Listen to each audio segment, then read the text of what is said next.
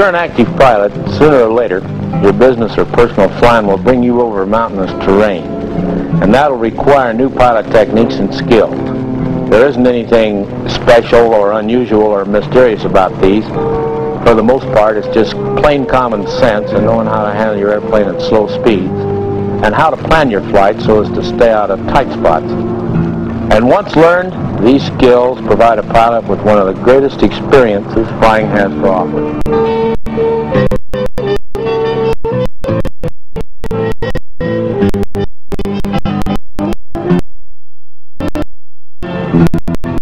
My name is Rocky Warren, and I've been flying this mountain country for 28 years.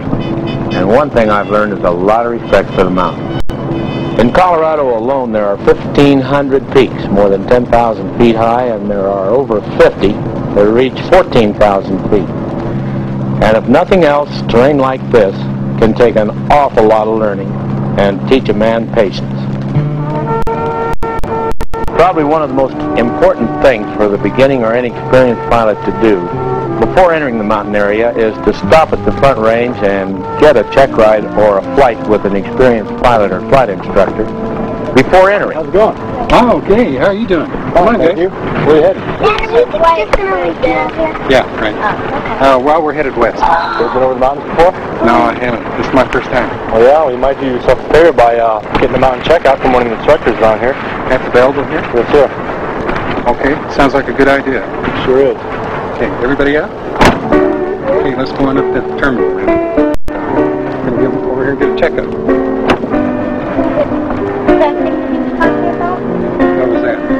Checkup?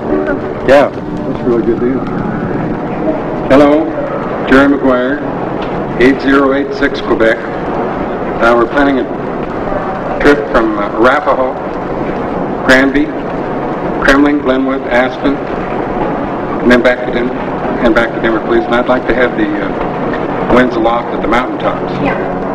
Okay, Jerry, why don't you get your flyer out and let's draw a line from Arapahoe County almost direct. I've been giving mountain flying courses for years, and I'm always delighted when someone stops and asks me for a little advice. A lot of times I think people are afraid to ask, but once they get through the barrier of asking, everything is just fine. The pilot and the experienced mountain pilot sit down and they can lay out the maps and really talk about it. We're going to have to have at least 14,000 to get over the pass. This is, uh, will give us a cushion. Mm-hmm. Okay, we want to plan. The foothills start right about at the west side of Denver here. We When planning a mountain flight, it's very important to use sectional charts. The best thing you can use is your uh, dead reckoning and uh, pilotage and knowing exactly where you are all the time. And I think that this is really important because in the mountains, you can get a mile off course and everything will look completely different and you can get completely lost.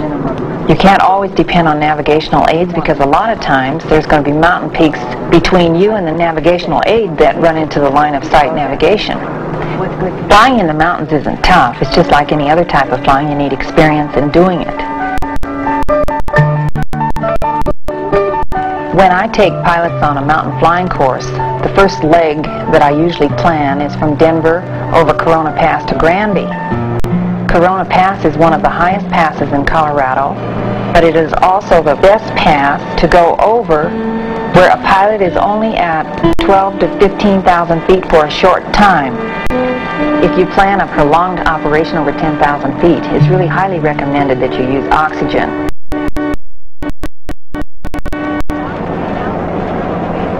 The best way to minimize turbulence in the mountains is to get out and get an early start. Fly when it's either early in the morning before the cumulus start to build on the mountain tops or late in the evening when the temperature has started to go down.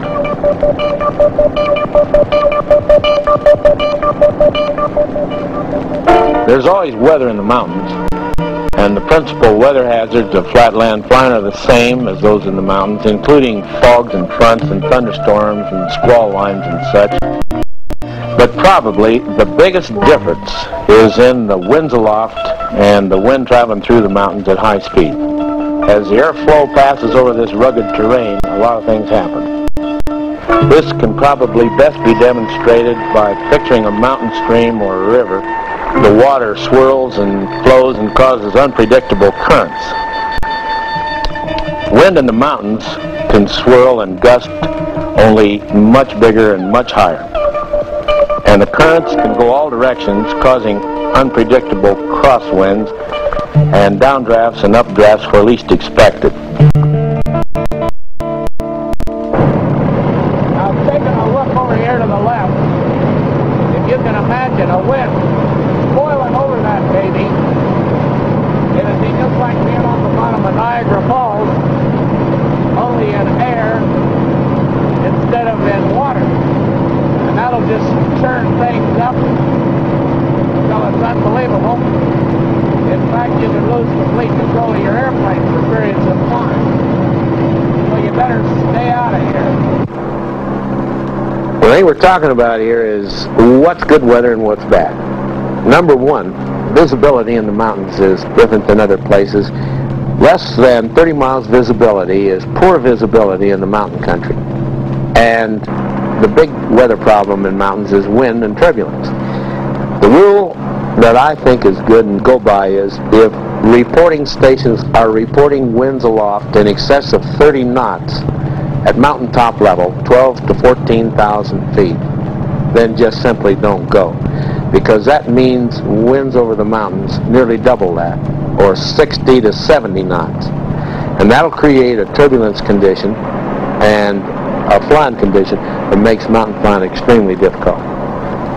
It is quite common, in the wintertime especially, to have 100 knot winds or better Yes, sir. At 12,000 feet. Like a pilot report, sir? In the mountains, we have the Venturi effect due to the fact that there's two large peaks on either side of a valley, so to speak. And as the wind comes in, it is restricted as it goes between the peaks. And when it goes between the peaks, the velocity increases. In some cases, the airplane is completely uncontrollable, and you cannot get across the mountain.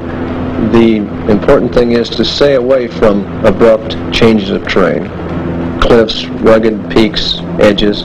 If you have to go over rugged peaks, have the altitude before you start across. However, we do have some wind up here.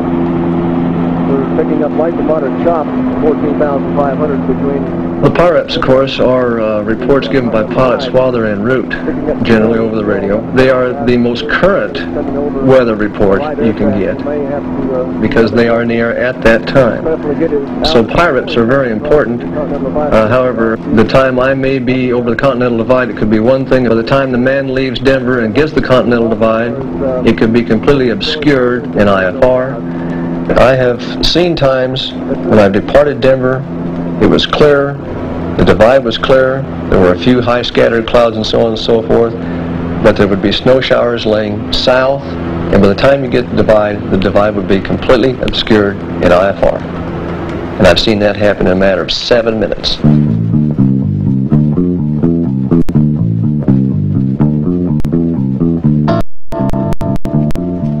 It becomes very evident to any pilot flying in the mountains, crossing high mountain terrain, that if there's going to be difficulty, it warns him way in advance. And if he continues, it's going to continue to get worse.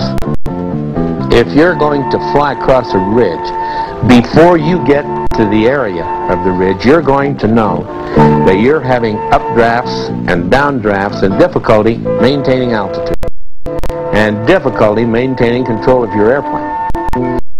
If you're having so much difficulty before you get there, you'd better quit before you get there.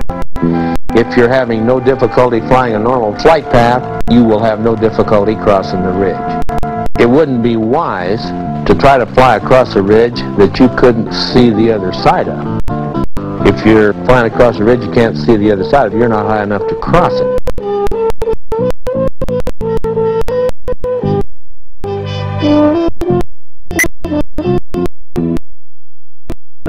Up the middle of a canyon. Well, of course not. You know, don't drive the wrong way on a freeway either. That's bad news too. And that's just about what this means on this flying up a canyon business. It's like the ridge crossing. If you don't know, you're already too late once you got in the canyon. Although the basic fundamental is, in any canyon,